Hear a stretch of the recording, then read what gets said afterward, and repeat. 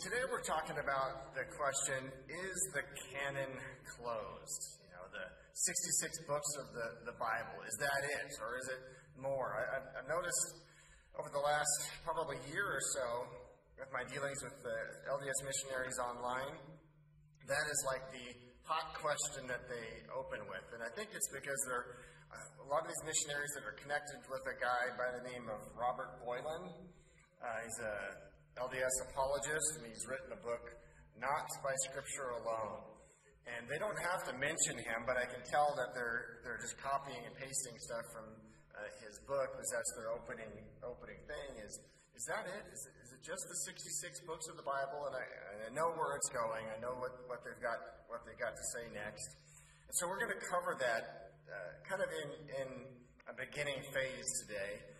But what we're going to look at is more for the person that's already figured it out.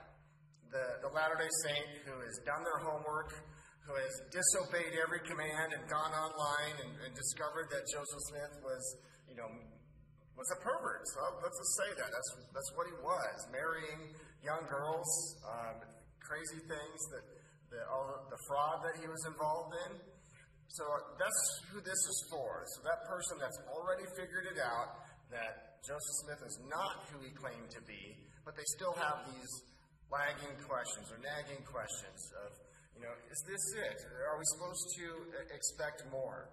So the hardcore Latter day Saint that just wants to believe it, none of what we covered today is going to uh, impact them probably whatsoever, unless the Holy Spirit is working on them, uh, of course. But for that person that is ready to, to receive, to understand, to ask questions sincerely, um, that's who it's for, and it'll, it'll impact them. We're going to look at a, a few things, and uh, what I want to look at first is what is the motivation for an open canon? To have more than the 66 books of, of the Bible. I don't know about you guys, but uh, I've become a fan of podcasts with my job. I listen to podcasts all day long while I'm out delivering the mail, and I've gotten kind of hooked on true crime. Any other true crime uh, addicts out there? That's I just love listening to them. And one of the things with true crime is that the investigators are always trying to discover what's the motive. Why did they commit the murder? Why did they commit the crime? And so when someone asks me whether they're a Latter day Saint or a Roman Catholic or a Jehovah's Witness or whatever, and they ask that question, well, is the Bible canon closed? What's the motivation? And the motivation is actually pretty obvious, is that they want to add to it. They want more than the 66 books of the Bible. And so that is a very obvious motivation. Um, with, the, with these groups, the ones that kind of want to add to it, obviously talking about the Latter day Saints, but the Roman Catholics believe the same thing that the canon is not closed. That was one of the major things of the Reformation. Sola Scriptura, one of the main main things of, of the Reformation was that the, not the church, not the Catholic Church, not the uh, not tradition, not the Pope, but Scripture alone. That's what the reformers were teaching, and so the Roman Catholics want the canon to be to be open. Uh, Jehovah's Witnesses, although if you ask them the question, do you believe in a closed canon, they would say yes. But functionally, that's not really true. Because they have their Watchtower tract and Bible Society, all the, their uh, magazines that they hand out, those are pretty much, in their mind, Scripture as well. So it's not just the Bible, it's the Bible and their magazines and their uh, the Watchtower Bible and Tract uh, Society. Roman Catholics, obviously, with tradition, uh, the Pope, and everything that goes uh, along with it. And there's some commonalities with groups that want to have more than the 66 uh, books of the Bible. Here are just a few, uh, four kind of commonalities. A canon must be open to introduce their unique doctrines. So groups that want to have an open canon all have doctrines that are not found in this, in the 66 books. And so the canon has to be open in order to introduce them. So uh, Mormons, Catholics, Jehovah's Witnesses, and whoever else, uh, that's one of their commonalities. Second, they all have a one true church mentality. So it's not just the Bible and their stuff, it's their stuff is the only stuff, and everybody else uh, is, is wrong. That's what they also have uh, in common. Uh, third thing is they pro- profess a belief in the Bible while having guns pulled out, pointed at it, and shoot it, shooting it, saying there's something wrong with it. Roman Catholics would say this is dangerous. You can't have this by itself because if everyone's interpreting this for themselves, they're going to come up with all kinds of crazy things. And that's one of the accusations that Rome had against uh, Martin Luther. And Martin Luther said, well, that's, I'm kind of paraphrasing, but that's a risk worth taking to, to allow people to read it, to interpret it for uh, themselves. So they profess the Bible while having their guns pointed at it. With the Latter day Saints, it's, yeah, we believe the Bible as far as it's translated correctly. The obvious implication is that it is not translated correctly, and we need their organization to fix it. And the Book of Mormon fixes it, the Doctrine and Covenants fixes it, their modern day prophets uh, fix it.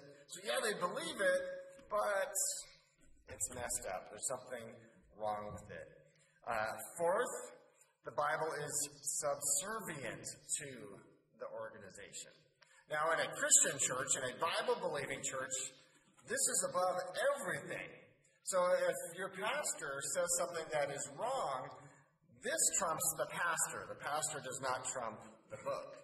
However, in all of these isms, the leadership of the, the group trumps this.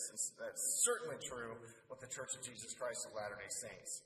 A lot of times you'll be talking with them, quote a verse to them that obviously contradicts something that they believe, their mind automatically goes to the conclusion, oh, that must be one of those verses that's been translated in, incorrectly.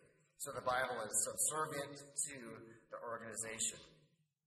Now, the reality is the Bible is progressive, right? You read Genesis 1 1.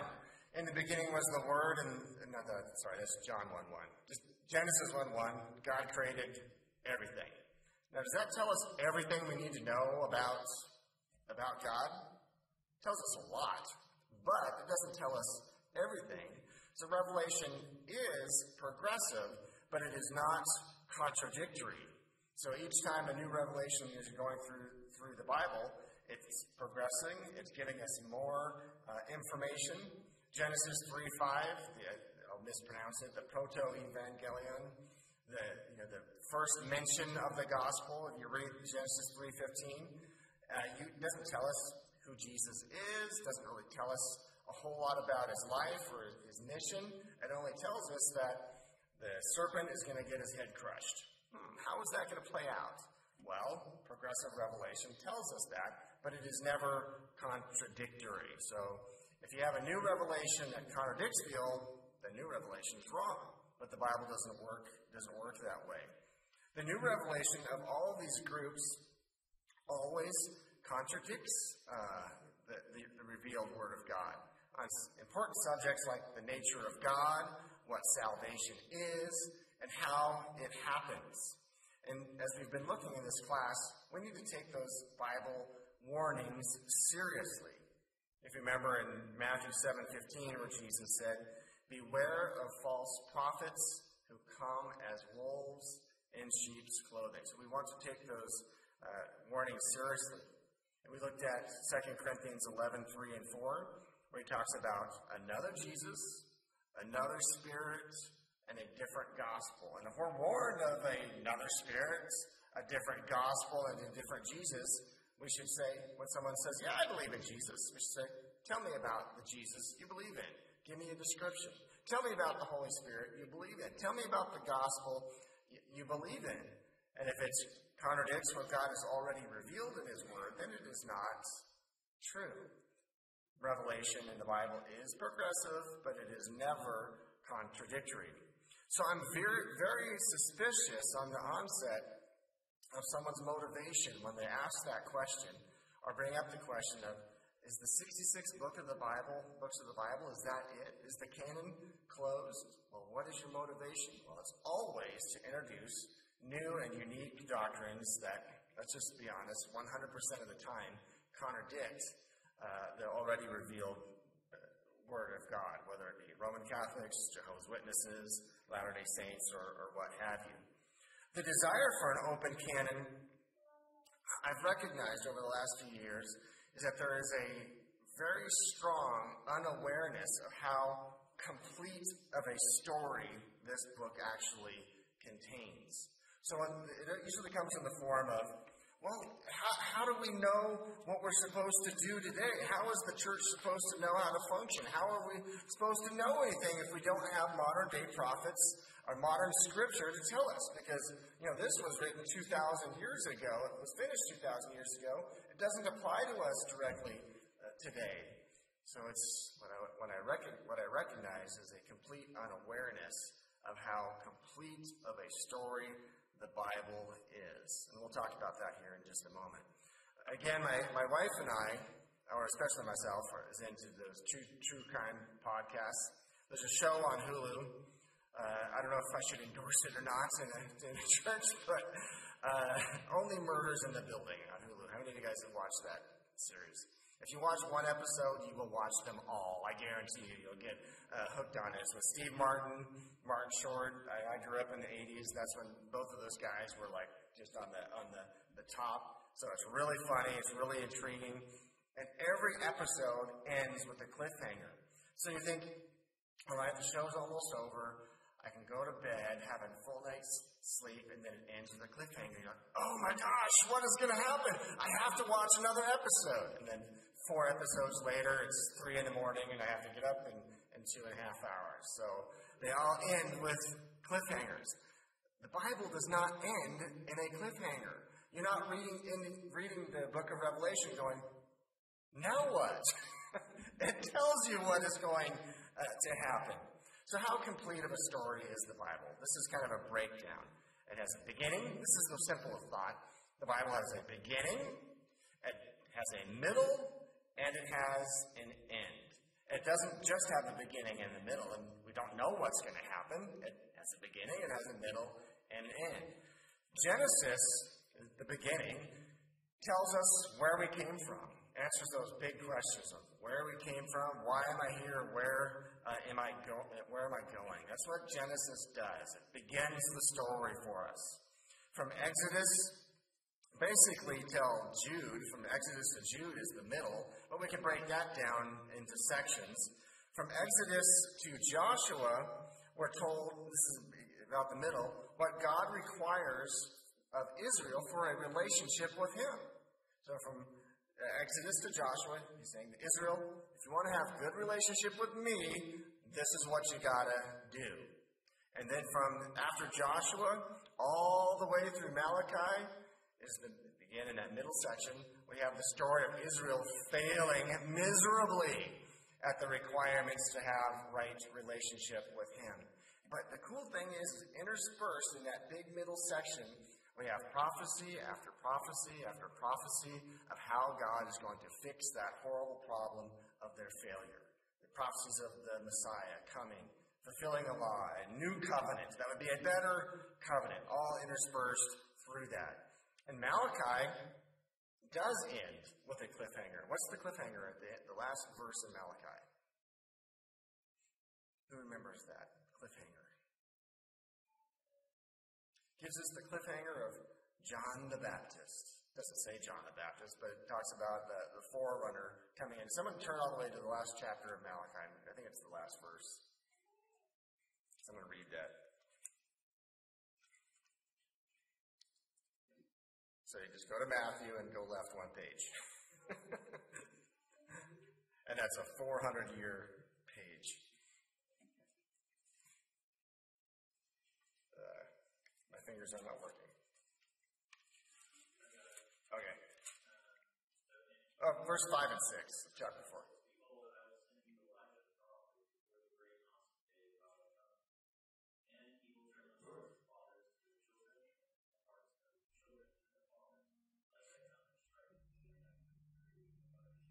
So that's a heck of a cliffhanger. You have this prophecy of Elijah the prophet coming. So for 400 years, Israel's like, where, where is he? Where is he? Where's he coming? That is a cliffhanger. But then we get to Matthew, And we have the fulfillment of those prophecies. So from Matthew to Acts, we have the fulfillment of all those prophecies, and we see the spread of the gospel, the new covenant that was promised in the Old Testament, that was going to be a better covenant than the old, because it was not based on the failures of man, or the, it was not based on the, the uh, ability of man to keep the law, because they failed, but on the ability of the Messiah who would fulfill the law for us. That's what we see in Matthew through Acts. So the big question that they have is, well, how does the church operate? How are we going to function if we don't have modern day prophets, if we don't have modern day uh, scripture? Well, who said we needed it? If you read, read simply from Romans to Jude, that is the section of the Bible that says, Church, this is how you are supposed to function. Uh, last couple of Sundays, or a few Sundays ago, uh, Pastor Jason did a, did a message on children and parents. Remember that? That's functioning within, uh, within the church. Uh, last Sunday, he talked about the you know, first couple of verses in, in Philippians about uh, you know, joy and what's that, what that's supposed to look like, and, and thinking of others more than yourself. That's how the church, you and I, are supposed to function. You get to first, second, first and second Timothy and Titus, and it tells us about elders and deacons and how the leadership is supposed to work uh, in the church. So we have that. The, the Bible tells us how the church is supposed to function. And then you get to Revelation, we have the end of the story. People are asking that question of when is all this going to end? When is all the evil going to to end. When is the Democrat Party going to be totally destroyed? Well, read the book of Revelation, and it tells us what is going to happen when, when that promised Messiah returns, destroys all the bad, sets up his kingdom, which is an eternal kingdom. The, the new heavens and new earth are, are created, and then we live for, for eternity with him. So the Bible is a complete story. It has a beginning, it has the middle, and it has the end. And so when someone asks, well, is this it? Is this is these 66 books? That tells you that they really don't have a clue of the contents of it, how deep this book is, how rich it is. Now, does the Bible tells, uh, tell us everything that there is to know, period? Of course not. It, it doesn't tell us everything, but it does tell us everything that we need to know. Here's a memory verse for you Deuteronomy 29 29. Let's open up there. Deuteronomy 29, verse 29. This is a verse that's very applicable to this and to, uh, to other things. When anyone wants to talk about like lost books of the Bible or additional revelation, maybe someone that thinks that they've got a revelation from God that should be added to it, this is a very uh, applicable passage or, or verse. Deuteronomy 29 29 says, The secret things belong to the Lord our God, but those things which are revealed belong to us. So the secret things belong to God. So there's a lot of stuff that He hasn't told us. There's probably you know, lots of questions you could you could ask or, or wonder wonder about that the Bible doesn't uh, tell us about. The secret things belong uh, to Him, but the revealed things belong to us, and He has given us a lot. These 66 books, you will never, ever, ever reach the bottom of that well. You just won't. Now, I listen to uh, the Book of Mormon. I've gone through it a few times. I'm always listening to it just so when they ask me, well, have you read it? Yes, yes, I have. A number of, a number of times. And it doesn't take long to get to the depth of the Book of Mormon. It, it's not very deep, it's a very shallow uh, well. But the, the, Bible, man, that is deep. It is rich. You will never, ever get to the bottom. I've, I don't know how many commentaries I've read on, on the book of John or listened to on the book of John or other books of the Bible, but every time I listen to something new, I think, wow, I didn't pick up on that before. There's just so much, it's so deep. So the secret things belong to our God, but those things which are revealed belong to us. What exactly are we going to be doing in heaven? It doesn't tell us a whole heck of a lot uh, about it. What is heaven like? We get some, some details, some glimpses, but it doesn't tell us a whole lot. We'll learn later, but for now, those are the secret things that belong to God, and what has what is revealed belong to us. We know heaven is real; it's a real place, and we're going there if you've received Jesus as your, your Lord and Savior. Uh, a couple other passages that are important for this discussion, and these ones that we'll look at three of them, and th- these are ones that we, as Christians, honestly, we make a lot of mistakes with. Where you know, uh, you think of someone in, in baseball, you know, when a when a pitcher uh, messes up and they just they throw it right down the middle, and they've got uh, you know I can't think of a give me a home run home run slugger, you know Babe, Babe Ruth sees that pitch coming right down the middle. That that that one's going to get, get knocked out of the knocked out of the park. And sometimes we kind of set up uh, Latter Day Saints that we're talking with, and they're going to they're gonna, we're going to quote these verses and we're, we're right and we're wrong in using them. How we use them oftentimes is very wrong, and so they're just like knocking our, our little comments uh, out of the park. And the first one, 2 Timothy 3 16 and 17, says, All scripture is given by inspiration of God and is profitable for doctrine, for reproof, for correction, for instruction in righteousness, that the man of God may be complete, thoroughly equipped for every good work. So we look at that and we say, okay, all Scripture in our brain, our, our conservative Bible believing brains, we automatically think the 66 books. And so in our brain, all Scripture, those 66 books, are profitable for doctrine, for correction, for reproof, for instruction in righteousness. And we, in our brain, we're thinking slam dunk, they're not going to have any, any answer for it, for it.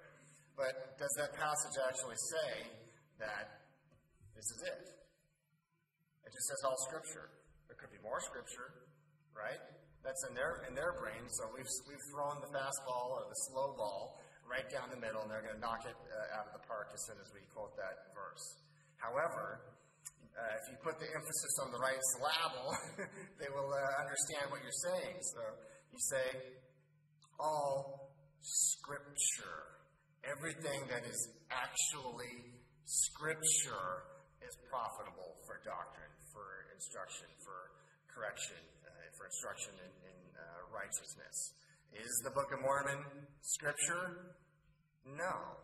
Is the Doctrine and Covenants Scripture? No. Is the Pope what comes out of his mouth? Scripture. Is the Watchtower Bible and Tract Society Scripture? No. It doesn't qualify. And we'll look at some brief things in there. So you can use this verse, but use it rightly. Say, put the emphasis on the word Scripture. Everything that is actually Scripture is profitable. And then you can, you can say something like, well, let's take some time. Let's compare the Bible and the qualities that it has with the qualities that the Book of Mormon has. And you'll see that they are not even comparable. And so those things do not qualify for Scripture. Uh, someone read for us Deuteronomy chapter 4, verse 2.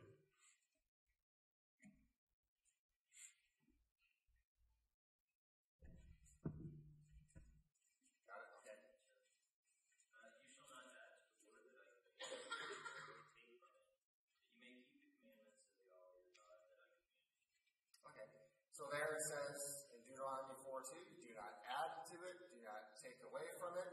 And so, again, we're oftentimes we quote this verse, we're throwing that slow ball down the middle, and Babe Ruth is going to knock it out of the park.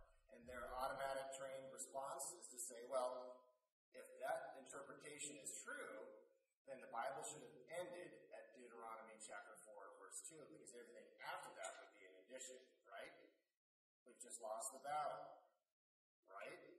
No, you just got, you've used the, you've used the right verse, You've just used it. So when it says that, do not add or take away, what that means is if God said something like, I don't know, I'm the first and the last, there's none before me, there's none after me.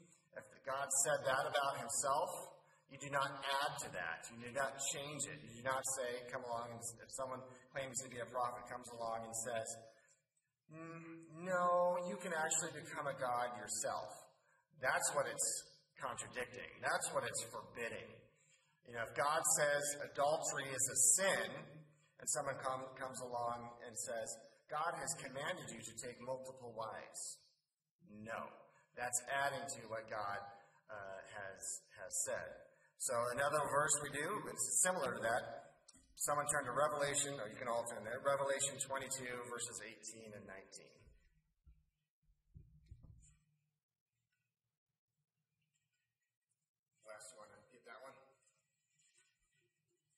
Last page of the Bible.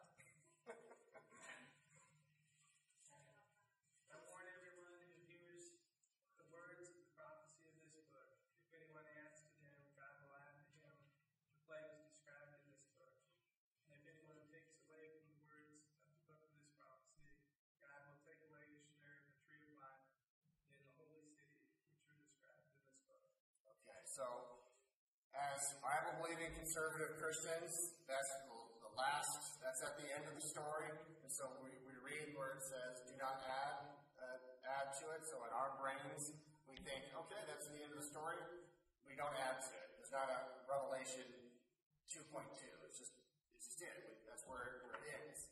Well, we're using the right passage, but we're, again, we're, we're throwing them the slow pitch down the middle, and I'm going to knock it uh, out of the park because we've used it incorrectly. What that means simply is if God has said something, we not change, add to it to what God has actually said. So you're reading through through Revelation, it talks about God judging uh, people there in the last couple ch- chapters when Jesus returns. He sets up the, the you know, setting up the millennial kingdom, and before that, the bema seat, you know, the place of judgment, sending sending people, uh, un- unbelievers, to the fire and brimstone to eternal hell. And someone comes along and says, No, there's no hell. That would be adding to or changing what God has said. It doesn't necessarily mean that there's no more scripture. However, we have to fall back on the question of what is it that they're claiming this is to be scripture? And they have new stuff. We have to test the new stuff against what God has already said. If he has said certain things to be true, we do not contradict those, we do not change them. Uh, third thing I want to look at is let's just say hypothetically that the canon is is open, that God can give more revelation, which He could. He's God. He can uh, He can do that. I'm not anticipating it because He gave us the beginning, He gave us the middle, and He gave us the end. So I'm not not anticipating anything. But let's just be hypothetical and say the canon is open. Uh, the Church of Jesus Christ of Latter day Saints does not just get a free pass to, to insert what they, they want. The Roman Catholics don't just get a free pass. The Jehovah's Witnesses don't just get a free pass. Or again, whoever wants to add to the scriptures does not just get a free pass. They have to uh, pass the same credibility test that all of these books. There's 66 individual books, and they all pass reasonable uh, tests of credibility. I want to read to you a statement. Probably read it twice because there's a lot in it. I probably should have put this on a piece of paper for you, but just listen carefully and I'll, I'll read it twice. The church, talking about Christianity, not the Mormon church, the church did not determine which books were inspired. God did. Many or man only recognized what God had done. This recognition was both immediate and a process. Believers immediately used the books as they were written, but also took the task of recognition seriously and used wisdom. The need for a list became apparent as the promised false teachers showed up and their works needed to be excluded. There's a lot packed into that uh, sentence, so I'll just read it again and pick up on the key words of like recognition, uh, that's a huge one. Just key in on that. I'll read it again. The church did not did not determine. That's another key word. The church did not determine which books were inspired. God did. Man only recognized what God had done. So the statement would be someone would say, well, the Roman Catholic Church picked the books in the Bible. The, the Roman Catholic Church determined which books. No. God did. God is the one who inspired things. Man only recognized what God had, did, had done. This recognition was both immediate and a process. Believers immediately used the books as they were written, but also took the task of recognition seriously and used wisdom. The need for a list became apparent as the promised false teachers showed up and their works needed to be excluded. So all of those all of those commands throughout that we've been looking at, these warnings of watch out, false teachers are going to show up. Well, they did. the false teachers did show up, and they were writing scriptures, or writing things they were claiming uh, to be scriptures. And so, what did the church do? They said, mm, "Those are not scriptures; these are." So, because the false promised false teachers showed up, that's what kind of kicked the church into gear to make uh, an official list to say this is what is actually Scripture. And all they were doing was recognizing what was Scripture. They were not determining it. Here's some of the things that they looked for. Four things. This is kind of a brief explanation. Number one was the book written by an apostle or a close associate. So every every year, usually around Easter, you'll see you know a Time magazine or something like that in the grocery aisle, and it'll be something dramatic, the lost books of the Bible. Well, those are the Gnostic Gospels. They're written, usually most of them are written from the second to the fourth century uh, AD. Um, were the apostles alive then? No. They're like the Gospel of Tom, Thomas, the Gospel of Peter. Uh, there's a whole list of them. They're the Gnostic Gospels. They're written after the apostles were dead. So one of the big questions in the fourth century, when this, when our canon was somewhat being made official by a list. That was the question. Were the apostles alive when that supposed book was written? If the answer was no, they tossed it. It was not uh, scripture. It may have had some value, just like you go to a Christian bookstore, you can find lots of good Christian books, but are those Christian books scripture? No. Uh, so that was one of the, the number one thing. Number two was the book being accepted by the people of God at large. One of the main things, or great things that Jesus said was, My sheep will hear my voice. So were his sheep uh, accepting these new books as scripture? And the answer was no. His sheep were not listening to those as scripture. Uh, number three, did the book contain consistency of doctrine and orthodox teaching? So, one of the reasons why we today exclude the Book of Mormon and Doctrine and Covenants and Pearl of Great Price from being included in this is because they don't have complementary doctrine, they have contradictory uh, doctrine. So when you're reading through and you're reading through Nehemiah and you get to the book of John, John does not contradict Nehemiah, he complements uh, Nehemiah.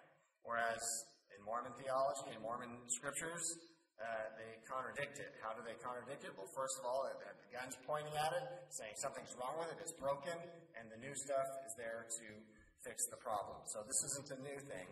So they, the uh, early church asked that question Does this new book, does the Gospel of Thomas, does the Gospel of Peter, uh, contain consistency of doctrine and orthodox teaching? And they would say, No. It has all kinds of weird, weird stuff in it, so they would be toss them out as scripture. Number four, did the book bear the evidence of high moral and spiritual values that would reflect the work of the Holy Spirit? That's a big one. So, polygamy. They, the uh, LDS leaders have talked over the past that, that uh, God commanded polygamy. The Bible has a word for that. It's called adultery. Is polygamy in the Bible? Yeah. Uh, for some reason, there's times when God tolerated it. And He even gave commands on how the, those unfortunate women would be protected. But 100% of the time that God says something about polygamy in the Bible, it's negative. When He's talking about uh, uh, elders and the qualifications for elders in, in Titus and, and 1 Timothy, the, one of the first qualifications is the husband of seven wives. No. Husband of one wife. That's a qualification for elder slash bishop. Well, if you're in Utah in the 1800s, a bishop would, a Mormon bishop would have multiple wives, So he'd be disqualified. He would fail uh, Deuteronomy 4 2 and adding to the scripture. He would fail uh, Revelation, uh, the last chapter there, the last couple of verses, and adding to uh, the scriptures. So they would ask the question Did the book bear the evidence of high moral and spiritual values that would reflect, reflect a work of the Holy Spirit? An example of number three, uh, I was kind of pointed this out earlier, but when you're looking at the Bible, each one of the books that's as Revelation is progressing and new scripture was being added, it, it complemented, it, it revealed more uh, truth, but it was never contradictory. Kind of a worthy point. A lot of times when you're talking with them, is they'll bring up like the Apocrypha. They'll say, well, what about the Apocrypha? Well, what about the, they wouldn't say Gnostic Gospels because that's, that's a pejorative term. They would say, well, what about the Gospel of Peter? What about the Gospel of Thomas? What about the lost books of the Bible? It's kind of a, a mute point because they're not, they don't actually think those are scripture either, but it's just a, it's just a, a smoke screen to get you over here to make you think, oh, well, maybe the canon is open and we shouldn't accept the Book of Mormon.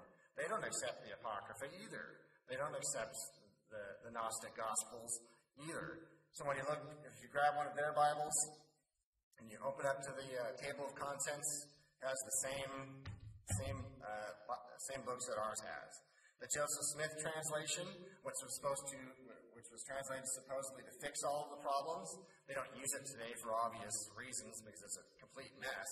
But you look at the table of contents in the Joseph Smith translation, same 66 books that we have. So just watch out for that. If you're talking about this subject and they ask, what about the Apocrypha? Just turn it back on them and say, well, do you think those are scripture? Then they'll say, well, no, I don't. Uh, so it's kind of a, a mute, a mute point. So why, why do Bible only Christians like us reject the LDS additional uh, scriptures? It's for similar reasons why the early church rejected all of those uh, those things from the past.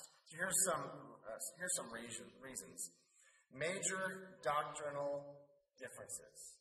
Major doctrinal differences. And so, like I was saying at the beginning of this message, the person that has already figured it out, the person who's already figured out that Joseph Smith is not who he claimed, claimed to be, the stuff that I'm going to give bullet points for right now is stuff that they probably figured out. And, and so they already recognize that he's not who he was. So major doctrinal differences. The Book of Mormon and, and following teach a different God, a different Jesus, a different spirit, a different gospel, and a different way to get to heaven and they've probably already figured that out by now, so we'd say oh, this is the reason why we reject it as scripture. Uh, another thing, a consistent misuse of Bible passages to prove LDS teachings. We've looked at several of these, uh, but some, lots of them. John 10 16, Jesus talks about other sheep. And so their question is, well, who are these other sheep that Jesus was came here to reach? And they'll have the Book of Mormon and say, well, the other sheep are the people in, in the Americas. That Jesus not only came to Israel, but he also came uh, to the Americas and preached the gospel here.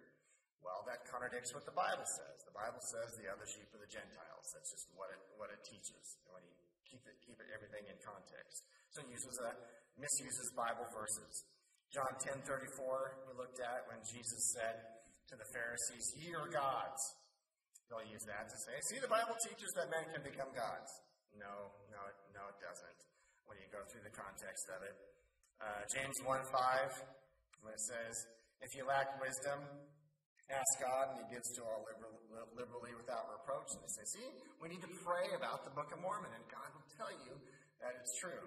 Well, that's not what James 1 5 uh, is about. Ezekiel 37 15 through 17 talks about two sticks, the stick of Judah and the stick of Ephraim, coming together as one, as an illustration. Uh, and they'll say, well, one stick is the Bible and the other stick is the Book of Mormon, and they are coming together as one. So they'll say that's a prophecy of the Book of Mormon and the Bible coming together in our, in our day. No, it's not. All you have to do is read the passage, and the Israelites say, What does this illustration mean? And then you read further, and Ezekiel answers the question that it's the, the northern kingdom of Israel and the southern kingdom of Israel, which at the time of writing were two separate nations, and then in the future, those two would become one. So you have the stick of Judah in, uh, in the south, and the stick of Ephraim in the north, and eventually they would come together as one nation. So a constant misuse, of, or consistent misuse of Bible passages tells us that this new revelation is not true. And this is absolutely crucial.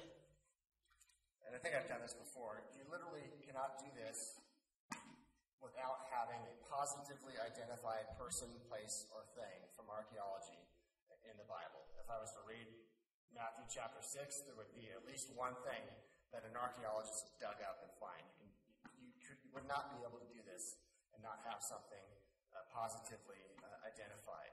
With the Book of Mormon, you can't do that once. There's not one positively identified person, place, or, thing that's not already mentioned in the Bible. Like the Book of Mormon talks about Israel and Jerusalem, uh, Bethlehem, things like that. But you, no archaeologist is going to say, let's buy a plane ticket, we can go to Zarahemla. It's not going to happen. There's not a single page of the Book of Mormon with a positively identified person or place. So it's just not the same quality, it's not the same character. Easily demonstrated fraud. Over the next two Sundays, we're going to, it will be kind of movie day. I'd say bring popcorn, but we're Baptists. Food's just not allowed in the sanctuary at Baptist churches, so we got to have a non-denominational church so we can just spray coffee all over the walls. but we'll watch a movie. Uh, well, it's not really a movie; it's a documentary called "The Lost Book of Abraham." and it's talking about uh, Joseph Smith um, uh, and his the scripture that he supposedly translated and said was the lost book of Abraham, and we'll see that it's easily demonstrated fraud. So we're kind of at the end, so let me summarize real quick. So reasons why to reject LDS scripture and that our canon is closed, that our 66 books of the Bible are in. Number one, I'm suspicious of the motivation for requiring an open canon.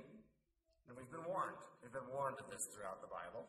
Number two, with the desire for an open canon, I recognize an unawareness of how complete a story the Bible contains. It has the beginning, it has the middle, and it has the end. It's not missing anything.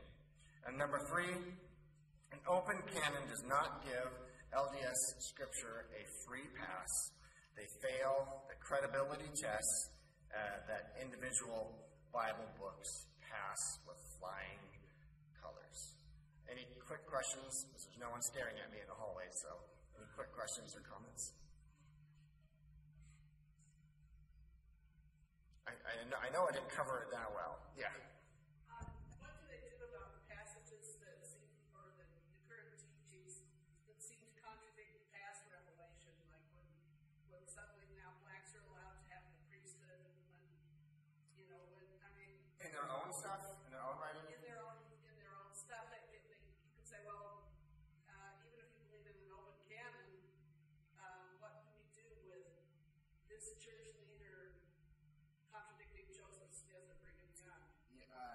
Taft Benson, who was uh, one of their prophets in the 80s, I think it was, when he was around, uh, he, he did a, a, message called 14 Fundamentals of uh, Following a Prophet.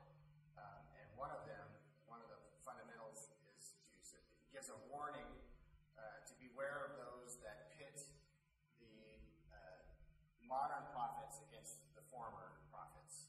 So what you and I do, and we rightfully do, is we'll take a something that Brigham Young said uh, about blacks in the priesthood, or what the Book of Mormon says about uh, Native Americans, Indians, being dark skinned being a curse, and then we, and then what their church says today, that they just kind of sweep that all under the carpet. And so they say, beware of those people, us, that will put you know the modern prophet against Brigham Young or against Joseph Smith or someone from the, the 60s. Uh, and they also say that modern revelation supersedes previous revelation, whereas in biblical thinking is the opposite. Uh, that that modern revelation or, or uh, previous revelation would supersede modern uh, revelation. So they've got that totally on its on its head. So talking to someone that just wants to believe it, and like I do this all the time. One of my hot topics is blacks in the priesthood. Is prior to 1978, uh, it was taught that if you have black skin, uh, if you're uh, from have African lineage, it's because you were disobedient to the pre-existence, and you were sent here with black skin, and the black skin was the mark to let everybody know that you were not allowed to hold the priesthood. And this would always be so uh, until uh, on some other world. But now, or 1978, all that was was swept swept away, and I'll I'll show them quote after quote after quote, and then they just oh, modern revelation supersedes previous. But yeah, Um, on that note, modern revelation, uh, one of the things that you being told in today's Mormons is we're Christians too. Uh, we're, we're, we're Christians just like you. yeah. And obviously we wrote through a lot of that, but um, it's spiritual. What do you say these days? Uh, a good quick response is say, "Oh, I'm a Mormon too," but I don't believe the Book of Mormon. But I'm a Mormon too, but I don't believe that Joseph Smith is a true prophet. I'm a Mormon, but I don't believe uh, Charles or Monson, who was the previous guy, to uh, Nelson. Nelson's the current guy. I don't believe that Nelson uh, is a is a prophet. You go, well, then you're not a Mormon. Exactly. So when someone says, I'm a Christian, but I believe men can become gods. I'm a Christian, but I don't believe the Bible has been translated correctly. You know, so you can do that pretty far. So you just say, okay, uh, and, and, you know, I, I can uh, sometimes use an illustration of, I'm a basketball player, but I'm a white guy. I can't jump and I can't get the basket, can't make the ball go in the rim, but I'm a basketball player. it's exposed when you start asking questions. So that's the, a quick, simple way when you're talking to somebody, you only have 35 seconds to, to do it. But awesome. Well, let's pray and we'll let everyone come in because they are starting to start. All right, Thank you for uh, again for this morning. Uh, we barely scratched the surface on the subject of uh, sola scriptura. Uh, the, is the canon closed? Um, help us to start asking